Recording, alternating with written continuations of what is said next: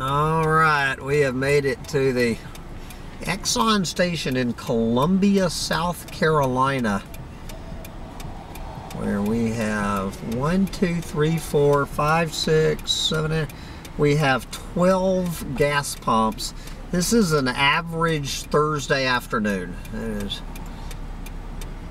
Thursday, November 11, 2021. An average weekday afternoon in Columbia, South Carolina, every single gas pump uh, is taken with people, you know, lining up, waiting for other people to pump their gas.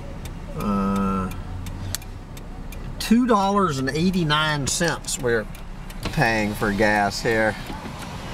$2.89. I started out at $3.53 is what I paid in Ithaca, New York.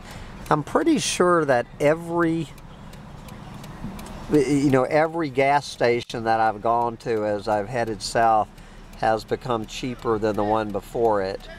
And uh, we are now at $2.89 I have not seen gas below $3 when was the last time and it's good to be back in the Southlands where you can still get gas for under $3 a gallon.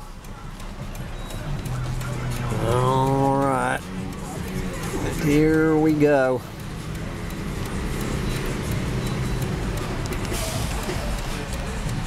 Man, hello, 289 gas.